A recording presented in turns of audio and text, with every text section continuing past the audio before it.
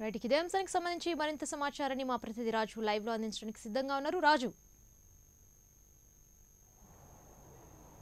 Right Anusha మొత్తం మీద ఏదైతే సదరన్ జోనల్ కౌన్సిల్ సమావేశం తిరుపతిలో ప్రారంభమైంది ఇందులో ముఖ్యంగా ఏపీ సీఎం జగన్మోహన్ రెడ్డి అనేక కీలకమైనటువంటి అంశాలను ప్రస్తావించినటువంటి పరిస్థితి. ఇప్పటి వరకు కూడా ఏదైతే వైఎస్ జగన్ ప్రభుత్వం ఇప్పటి వరకు కూడా ప్రత్యేక హోదా మీద ఎలాంటి ప్రయత్నం చేయట్లేదని చెప్పేసి వస్తున్నటువంటి విమర్శల నేపథ్యంలో ఇవాళ జరిగినటువంటి సమావేశంలో ఆయన ఒక కీలకమైనటువంటి ప్రతిపాదన కేంద్రం ముందు ఉంచినటువంటి పరిస్థితి. ముఖ్యంగా ఏదైతే రాష్ట్ర విభజన అనేది కేవలం రాష్ట్రానికి ప్రత్యేక హోదా అనేటటువంటి ఒకే ఒక పదం ని పరిగణలోకి తీసుకొని జరిగింది. సో కాబట్టి ఏడేళ్ళు గడిచినా సరే రాష్ట్ర విభజన జరిగి ఇప్పటివరకు కూడా ప్రత్యేక హోదా అనేటువంటి అంశాన్ని ఇప్పటివరకు పరిగణలోకి తీసుకోకపోవడం దాన్ని అమలు చేయకపోవడం కరెక్ట్ కాదు అనేటువంటి అంశాన్ని బలంగా వినిపించినటువంటి పరిస్థితి. అయితే ప్రత్యేక హోదా అంశానికి సంబంధించి సీఎం జగన్ ఈ సమావేశంలో ప్రస్తావిస్తారు అనేటటువంటి ఆలోచన లేకపోయినప్పటికీ కూడా ప్రత్యేక హోదా అంశం మీద ఆయన మాట్లాడినటువంటి తీరు కావచ్చు. అంతేకాకుండా విభజన హామీలకు సంబంధించి కేంద్ర ప్రభుత్వం వ్యవహరిస్తున్నటువంటి తీరు పట్ల ఆయన తీవ్ర స్థాయిలో ఈ సమావేశంలో ప్రస్తావించినటువంటి పరిస్థితి. ముఖ్యంగా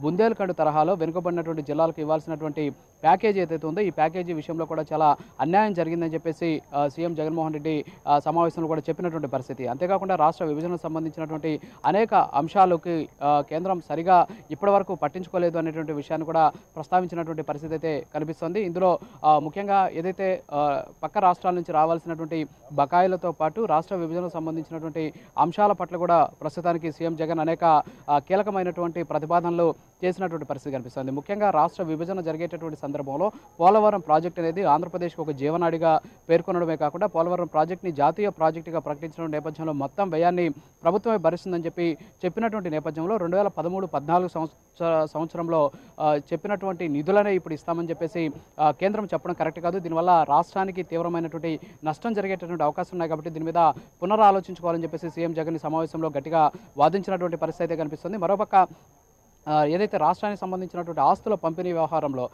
హేతుబద్ధమైనటువంటి రాష్ట్రాల పంపిణీ ఆస్తుల పంపిణీ జరగలేదు. అంతేకాకుండా విభజన చట్టంలో ఆస్తుల పంపిణీకి సంబంధించినటువంటి సరైనటువంటి అంశాలను పొందుపరచకపోవడం వల్ల దీనివల్ల రాష్ట్రానికి దాదాపు లక్షా పదహారు వేల కోట్ల రూపాయలకు సంబంధించిన ఆస్తుల పంపిణీ వ్యవహారంలో నష్టం జరిగింది అనేటువంటి అంశాన్ని వైఎస్ జగన్మోహన్ రెడ్డి ఈ సమావేశంలో ప్రస్తావించినటువంటి పరిస్థితి అయితే కనిపిస్తోంది. దీంతో పాటు ఏదైతే ముఖ్యంగా ఏదైతే లోటు బడ్జెట్కి సంబంధించి కి ఇప్పటి వరకు కూడా సరైనటువంటి స్పందన లేదు కేంద్రం నుంచి అనేటువంటి విషయంతో పాటు ఏదైతే గత ప్రభుత్వం తీసుకున్నటువంటి రుణాలకు సంబంధించి పరిమితి పెరిగింది అనేటువంటి దాని మీద ఇప్పుడు పరిమితి విధించడం కరెక్ట్ కాదు. దీనివల్ల రాష్ట్రంలో చాలా వరకు కూడా సంక్షేమ కార్యక్రమాలకు చాలా ఇబ్బందులు పడుతున్నాం అంశాన్ని ఆయన ప్రముఖంగా ప్రస్తావించారు. అయితే ఇందులో ఇతర రాష్ట్రాలకు సంబంధించినటువంటి వ్యవహారంలో తమిళనాడుకి సంబంధించి దాదాపుగా కూడా మూడు వందల ముప్పై ఎనిమిది కోట్ల రూపాయల వరకు తెలుగు నీటికి సంబంధించినటువంటి బకాయిలు రావాల్సి ఉంది. వాటిని వెంటనే ఇప్పించేటటువంటి ప్రయత్నం చేయాలని చెప్పేసి ఆయన కోరినటువంటి పరిస్థితి. అలాగే తెలంగాణ సంబంధించి విద్యుత్ బకాయిలకి సంబంధించినటువంటి బిల్స్ కూడా దాదాపు ఆరు వేల నూట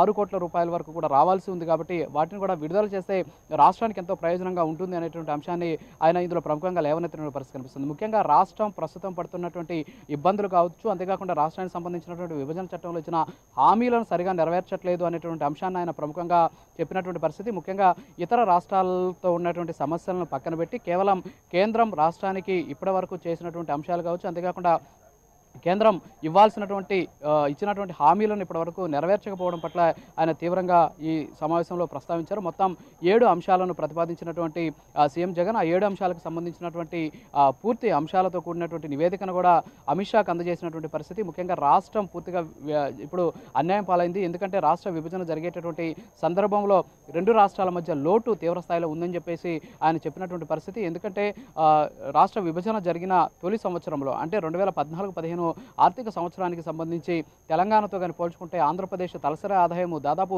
ఏడు వేల కోట్ల రూపాయల వరకు కూడా తక్కువగా ఉంది అనేటువంటి అంశాన్ని ఆయన ఇక్కడ లేవనెత్తినటువంటి పరిస్థితి. సో ఓవరాల్గా కానీ చూసుకున్నట్లయితే రాష్ట్రం పట్ల కేంద్రం చూపిస్తున్నటువంటి చిన్న చూపు కావచ్చు అంతేకాకుండా విభజన చట్టంలో ఇచ్చినటువంటి హామీలకు సంబంధించినటువంటి వ్యవహారంలో కేంద్రం అనుసరిస్తున్నటువంటి విషయాన్ని వ్యూహాన్ని ఆయన ఈ సందర్భంగా ఒక రకంగా చెప్పాలంటే ఎండగట్టని చెప్పుకోవచ్చు. ముఖ్యంగా ప్రత్యేక హోదా అంశం దాదాపుగా కూడా మరుగున పడిపోయింది అని అనుకుంటున్నటువంటి సందర్భంలో ఇవాళ ప్రత్యేక రాష్ట్రం ఏర్పడింది ప్రత్యేక హోదా అనేటటువంటి ఒకే ఒక ప్రాతిపదికన అనేటువంటి విషయాన్ని కేంద్రం మర్చిపోయింది అనేటువంటి విషయాన్ని ఆయన ప్రముఖంగా లేవనెత్తినటువంటి పరిస్థితి కనిపిస్తుంది. ఇప్పటివరకు రాష్ట్ర విభజన జరిగి ఏడేళ్ళు కావస్తున్నప్పటికీ కూడా ఇప్పటివరకు రాష్ట్రానికి రావాల్సినటువంటి ఆస్తులు కావచ్చు అంతేకాకుండా కేంద్రం ప్రకటించినటువంటి ఏదైతే రాష్ట్ర విభజనకు సంబంధించినటువంటి హామీలు ఇప్పటివరకు ఇవ్వకపోవడం మీద ఆయన సమావేశంలో గట్టిగా వాదించారు. మరోపక్క రాష్ట్రాల మధ్య ఉన్నటువంటి సమస్యలను పరిష్కరించేందుకు సత్వరం పరిష్కరించేందుకు అవసరమైనటువంటి ఒక ప్రత్యేక మండలిని ఏర్పాటు చేయాలని కూడా ఈ సందర్భంగా జగన్మోహన్ రెడ్డి కోరినటువంటి పరిస్థితి కనిపిస్తోంది. Anusha. Right thank you Raju